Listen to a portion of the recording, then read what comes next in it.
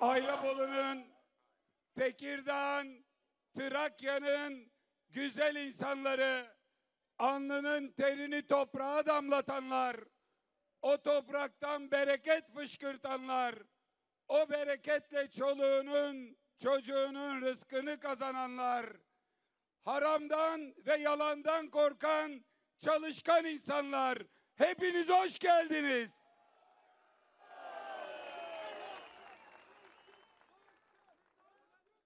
...31 Mart seçim sürecinde Türkiye'nin dört bir yanındaydık. Tekirdağ'ımıza da geldik. Trakya'mıza geldik. 105 yerde miting yaptık. O mitinglerde hep bir tek şeyi söyledik. Gelin Cumhuriyet Halk Partisi'ne oy verin. Gelin Türkiye İttifakı'na katılın. Türkiye'nin sosyal demokratları, muhafazakar demokratları, milliyetçi demokratları, Türkiye'nin bütün demokratları birleşin, sesinizi duyurun dedik.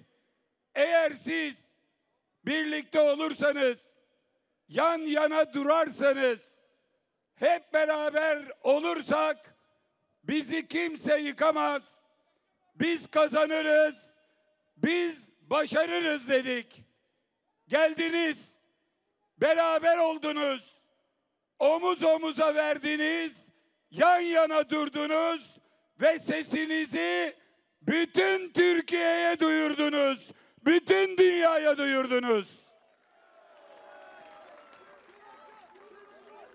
47 yıl sonra 47 yıl sonra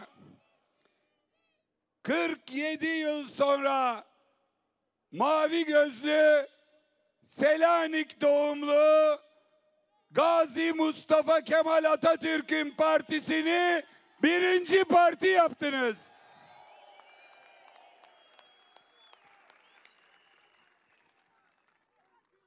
Bir anneannesi Selanikli, babaannesi Kırçovalı, dedesi Üsküplü bir evladınız olarak hepinizi saygıyla selamlıyorum. Hoş geldiniz. Biz demiştik ki 31 Mart'ta güç verin, sizi unutmayacağız. Emeklinin 10 bin lirayla geçinmek zorunda bırakılan emeklinin sesini duyuracağız. Asgari ücretine zam yapılmayan işçinin sesini duyuracağız. Ürünü para etmeyen, desteklemelerini alamayan, hakkını alamayan, alnının terinin karşılığını alamayan çiftçilerin sesini duyuracağız dedik. Ve 31 Mart'ta sizin bize verdiğiniz geç güçten, destekten sonra biz asla bir zafer sarhoşluğuna kapılmadık. Dedik ki bu bir zafer değildir. Bu sadece bir vazifedir, bir görevdir. Belediye başkanlarımız işlerini iyi yapacaklar. Hepsi çok çalışacaklar. Biz çok çalışacağız ve biz bu ülkede bir kez daha halkın iktidarını, Cumhuriyet Halk Partisi iktidarını, Gazi Mustafa Kemal Atatürk'ün milletin efendisidir dediği köylülerin iktidarını kuracağız. Bakın, bakın orada ne yazıyor. Bugünlerde birilerinin köylüye alananı da git demesine bakmayın. Siz şanlı bayrağın yanındaki yazıya bakın. Köylü milletin efendisidir. Köylü milletin efendisidir.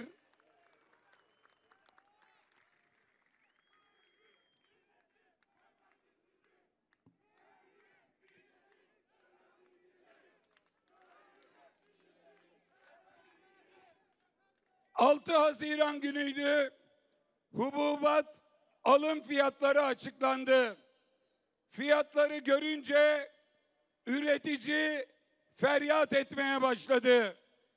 Daha önceden daha önceden kendisi de Ziraat Odası Başkanı olan 31 Mart tarihinde kendisine Ayrabolu'nun 5 yıl boyunca hizmet etmek için yetkisini verdiğiniz başkanımız bize seslendi.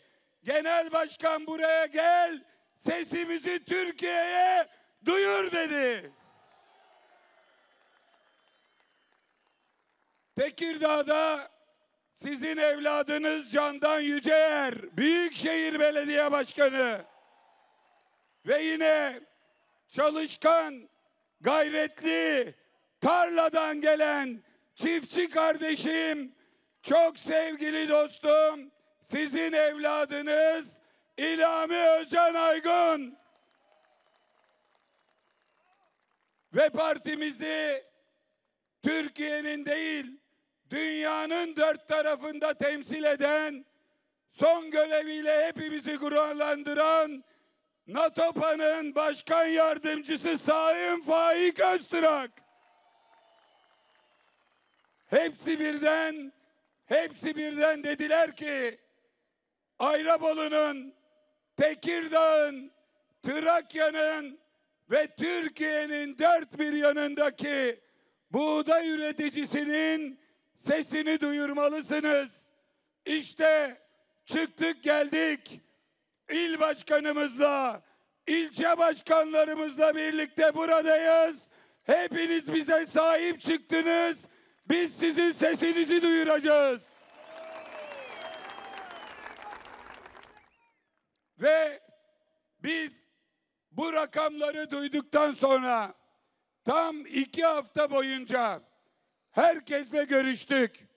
En son geçen hafta Sayın Cumhurbaşkanı ile yaptığımız görüşmede şunu söyledim. Geçen hafta Rize'de memleketinizdeydim. Çaya verilen fiyat 17 lira, maliyetin 3 lira altında. Buğdaya verilen fiyat 9 lira 25 kuruş. Ziraat odalarının hesapladığı maliyetin iki buçuk lira altında. Yarın fındık gelir, üzüm gelir, diğer ürünler gelir. Ama çiftçiye bu hesap doğru gelmez. Bu hesap tutmaz. Bu borçlar ödenmez. Bu iş böyle yapılmaz. Çiftçiye bunu yaparsanız bu memleketin beli doğrulmaz dedim.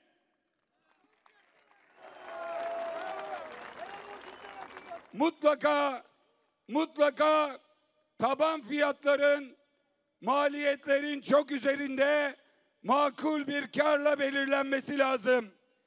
Desteklemelerin zamanında verilmesi bugün madem ki böyle bir taban fiyat açıklandı hiç değilse kilo başına 4 lira destekleme verilerek bu fiyatın telafi edilmesi ve buğdayın gerçekten para kazandırması için çocukları okutması, karınları doyurması, borçları ödemesi için buğday fiyatının 15 lira olması lazım. 15 lira olması lazım. Bakınız Türkiye kişi başı yıllık ekmek tüketiminde 200 kiloyla dünya birincisi. Bu bir realite, bu bir gerçeklik. Bunun bir sebebi alışkanlıklarımız ama önemli bir sebebi de yoksulluğumuz. Ekmek garibanın katığı ve ekmek fiyatları bu Türkiye'nin en önemli meselelerinden bir tanesi. Bugün buğdayın ekim alanları 1998'de 9.8 milyon hektarken bugün 6.8 milyon hektara geriledi. Yani 25 yıl geçti. Nüfusumuz 25 milyon arttı ama buğday tarımı yaptığımız alan 3 milyon hektar azaldı. Bakın 3 milyon hektar alan ne demek? 5 tane Tekirdağ demek. 5 Tekirdağ büyüklüğünde toprağımız 25 yıl öncesine göre daha az buğday ekiliyor. Oysa nüfus arttı, boğaz arttı, ihtiyaç arttı. 2002 yılında 67 milyon nüfusumuz vardı. AK Parti iktidarı geldiğinde ve o tarihte 20 milyon ton buğday üretiyorduk. Şimdi nüfusumuz 84 milyon yine 20 milyon ton buğday üretiyoruz. Ama o günden bugüne 48 milyon ton buğday ithal ettik. Türkiye kendi kendine yeten, kendi karnını doyurabilen bir ülkeyken şimdi buğdayı bile, samanı bile ithal eden bir ülke haline geldi. 2023 yılında geçen sene 11.7 milyonla Cumhuriyet tarihinin en yüksek buğday ithalatı gerçekleşti. Şöyle bir düşünün. 11.7 milyon ton buğdayı ithal etmek yerine o buğdayı iç piyasadan karşılamak, o parayı size vermek, destekleme yapmayı tercih etseler 5 Tekirdağ büyüklüğündeki alan buğday ekilebilir, herkes para kazanabilir, memlekette boşu boşuna dünyanın parasını kaybetmezdi. Maalesef Trakya'da tarım geriliyor. Gayri safi milli hasıla içinde tarımın payı Adalet ve Kalkınma Partisi geldiğinde yüzde 13.9'du. Oysa bu sene 6.3'e geriledi. Yani esas esas bütün paradan yüzde 14'ü tarıma giderken şimdi yüzde altısı tarıma gidiyor.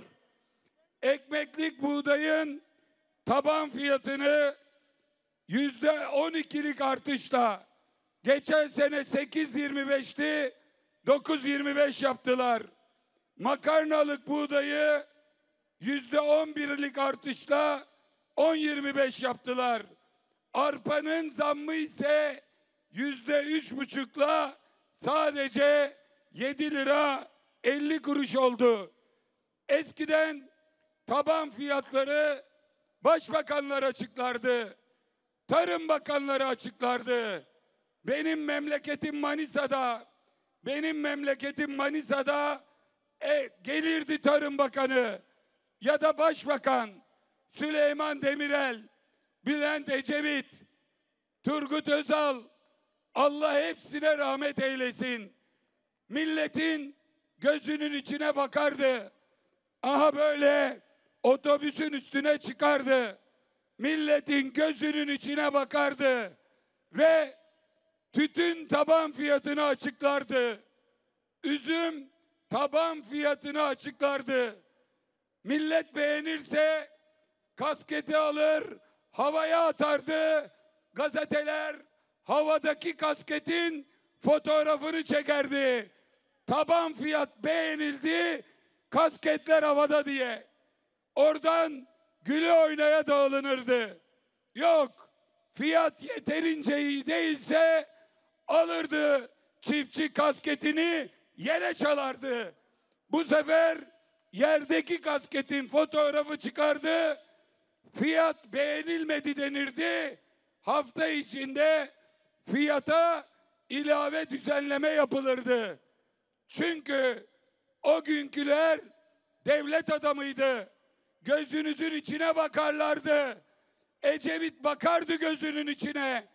İnönü bakardı gözünün içine. Fiyatı onlar açıklardı. Şimdi gecenin 11 buçuğunda tweet atıyorlar. Tweet atarak fiyat verenlerin mazot yüzde 110 artmışken gübre yüzde 35 artmışken bütün masraflar ikiye katlamışken buğdaya yüzde 10 zam verenlere bunu da tweet atarak söyleyenlere yazıklar olsun. Bakın geçtiğimiz günlerde geçtiğimiz günlerde dedim ki bu fiyat üreticiyi güldürmez ağlatır. Tuttu birisi dedi ki bu fiyat iyi fiyat. Para kazandırır. Bu fiyat eskisinden iyi. Ben diyorum 20 yıl önce buğday para kazandırıyordu. O diyor ki hayır. Şimdi Ayrabolu'da gelin bakalım bir hesabı birlikte yapalım. Her hesap şaşar, bir hesap şaşmaz. Hangi hesap şaşmaz? Altın hesabı şaşmaz. Bakın şimdi buradan bütün Türkiye'ye ilan ediyorum ki 2005'te bir ton buğday 9,5 kilo çeyrek altın arıyordu. Hesap ortada. Bir ton buğday 9,5 çeyrek altın alıyordu. Bu açıklanan fiyatla bugün bir ton buğday sadece iki buçuk çeyrek altın alabiliyor. Yani yani bir ton buğdayı koy önüne içinde yedi tane çeyrek altın kayıp.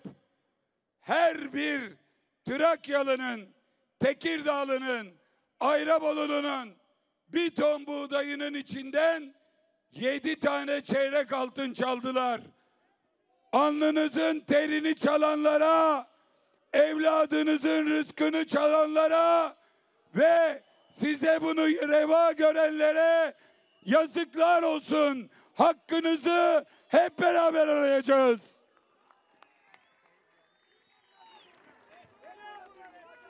Altın hesabından anlamayan ekmeğe baksın. 200 gram ekmek geçen sene altı buçuk liraydı doğru mu? Şimdi 10 lira. Yani yüzde 54 arttı. Geçen sene bir kilo buğday satıp bir ekmek alıyordunuz. Ama artık almıyor. Bir kilo buğdayla bir bardak çay içilemiyor. Geçen yıl bir ton buğday 375 litre mazot alırdı. Şimdi bir ton buğday 225 litre mazot alıyor. Bir yılda çiftçinin deposundan bir ton buğday için 150 litre yani iki depo mazot çalındı. Bir ton buğdayda iki traktör deposu mazot kayıptır. Geçen yıl 52 ton buğday satan bir traktör alabiliyordu. Şimdi aynı traktörü almak için 110 ton buğday satmak lazım. 110 ton. Bir yılda gübre yüzde 35, mazot yüzde 109, yem yüzde 49, ilaç yüzde 57 zam gördü. Ama hükümetimiz size yüzde 12'lik fiyat artışını yeterli gördü. Bunu kabul etmiyoruz. Buna itiraz ediyoruz. Sesimizi hep birlikte yükselteceğiz.